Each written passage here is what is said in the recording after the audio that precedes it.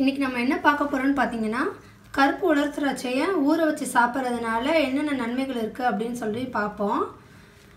இந்த கருப்பு திராட்சையை நைட்டு ஒரு டம்ளர் தண்ணியில் நல்லா ஊற வச்சுக்கோங்க. ஒரு பத்து பழம் எடுத்து ஊற வச்சுக்கோங்க. அதை டெய்லி காலையில் ஊறினதுக்கப்புறம் அந்த தண்ணியும் குடிங்க. அந்த திராட்சையும் நீங்கள் எடுத்து சாப்பிடுங்க.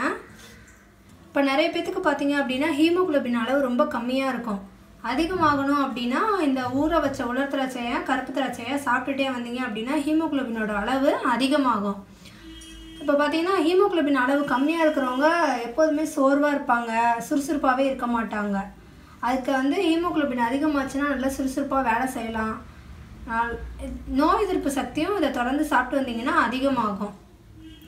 ஹீமோக்ளோபின் கம்மியாக இருந்தாலே அடிக்கடி ஏதாவது வைரஸ் தொற்று அது மாதிரி பிரச்சனை வந்துக்கிட்டே இருக்கும்.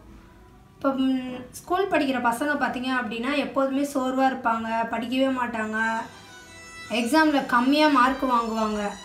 குழந்தைங்க நல்லா படிக்கணும் சுறுசுறுப்பாக இருக்கணும் அப்படின்னா இந்த ஊற வச்ச கருப்பு திராட்சையை டெய்லி காலையில் கொடுத்துட்டே வாங்க. சுறுசுறுப்பாக இருப்பாங்க நல்லா படிப்பாங்க.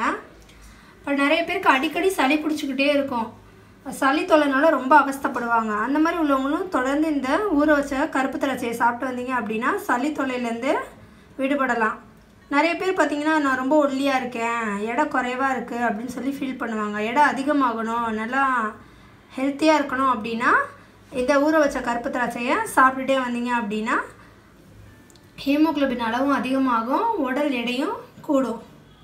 இதில் என்னென்ன சத்து இருக்குது அப்படின்னு பார்த்தீங்கன்னா குளுக்கோஸும் ஃப்ரூக்டோஸும் அளவு அதிகமாகவே இருக்குது கண்ணு பிரச்சனை ஸ்டார்ட் ஆகுறவங்க இதை தொடர்ந்து சாப்பிட்டுட்டே வந்தீங்கன்னா கண் சம்மந்தமான பிரச்சனை வரதுலேருந்து விடுபடலாம். இதில் கால்சியம் சத்து அதிகமாக இருக்கிறதுனால பற்களும் ஸ்ட்ராங்காக இருக்கும் எலும்பு ரொம்ப வலுவாக இருக்கும்.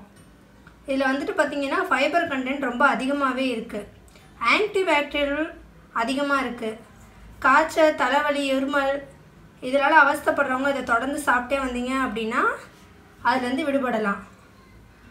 ஆன்டி ஆக்சிடெண்ட் அதிகமாக இருக்கிறதுனால கேன்சர் வராமலும் இது பாதுகாக்குது நம்மளை.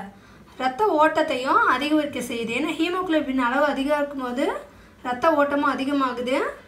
இதனால் வந்துட்டு உடம்பு எப்போதுமே ஆரோக்கியமாக இருக்கும்.